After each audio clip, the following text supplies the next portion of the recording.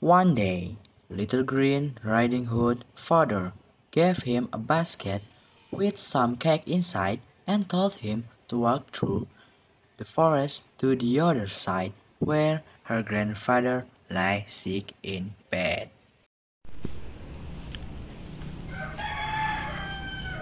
Remember not to talk to strangers.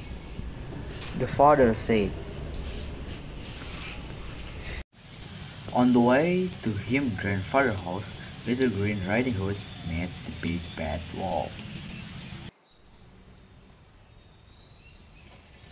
Where are you going, little boy?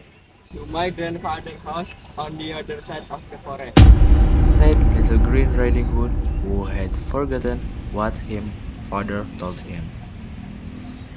The wolf took a shortcut and ran ahead to grandfather's house.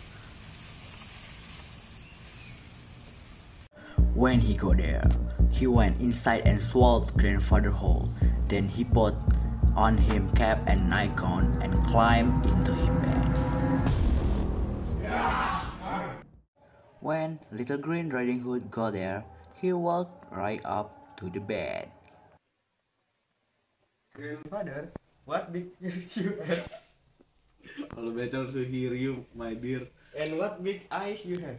All the better to see, to see you, my dear. And what big teeth you have?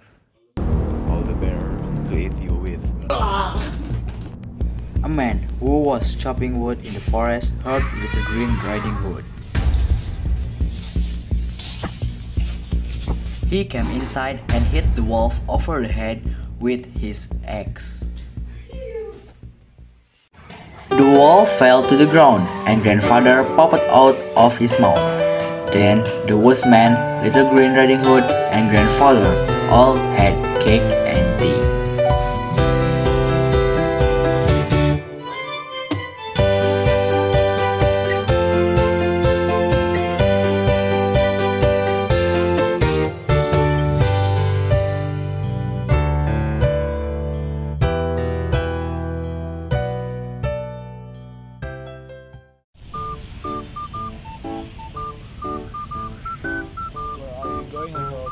Eh.